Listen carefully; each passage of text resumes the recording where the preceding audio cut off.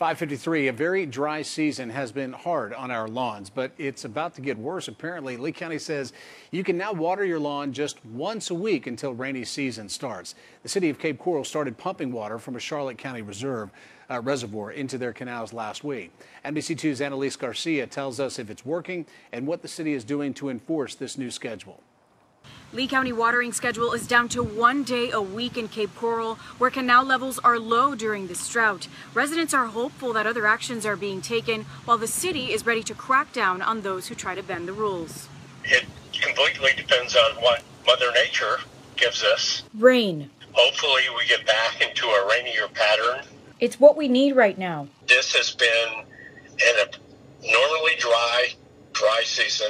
You may be seeing the effect on your lawn. I think they're very dry. They're already looking bad. Lee County has implemented water restrictions. Yeah, I'm not happy with the one day a week. But South Florida Water Management District's Randy Smith says they'll help. With the water restrictions, we'll probably see the well water levels start to, to minimize their decline. The city of Cape Coral tells me code compliance officers are working all hours of the day and night to make sure no one is breaking the watering rules.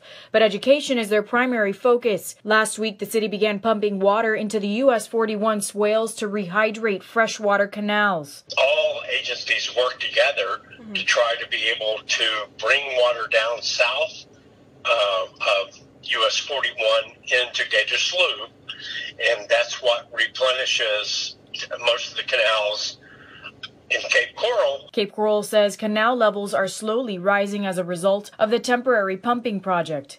But that's only secondary. What really replenishes the canals is rainfall. And it all boils down to Mother Nature. Actually, every time it rains, I'm like, oh, thank God. We've seen it before, and with conservation, we'll make it through it. In Cape Coral, Annalise Garcia, NBC2. And during this pandemic,